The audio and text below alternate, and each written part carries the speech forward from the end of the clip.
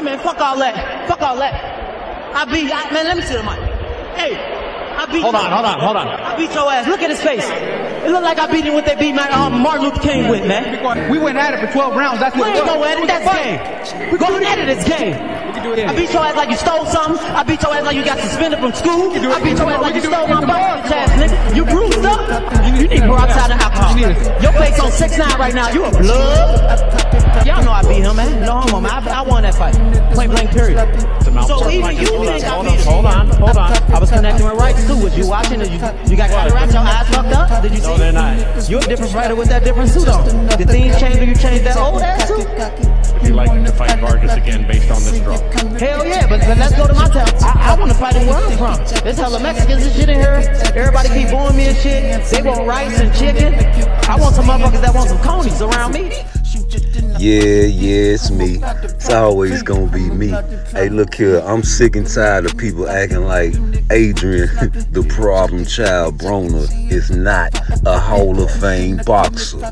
This man didn't duck no wreck, even though he took L's, he ain't duck no wreck like these fighters today.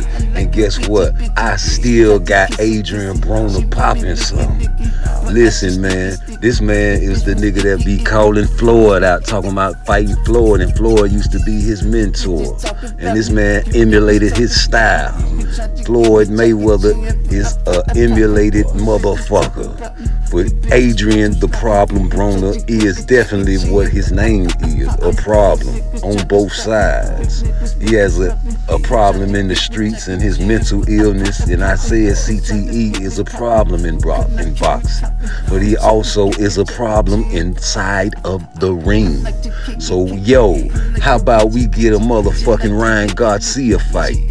Yeah, that's the tune up I want to see him fight because I don't think Ryan Garcia can last in the ring with Adrien Broner. Even though I feel like Ryan Garcia is stepping up by uh, training with Derrick James, but that don't mean he can fade a Hall of Famer.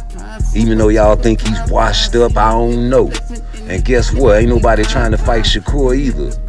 Hey, y'all talking about he washed up, give him a shot, Floyd. Won't you come out of retirement and fight this man? No, you don't want to do that. You want to keep fighting the motherfucking barbers and all these exhibitions. This is a hell of an exhibition if you ask me. But fuck it, let's get Ryan in the ring. Let's get, let's get Ryan. He's a killer too. I like Ryan because he has heart, unlike other fighters in the 135.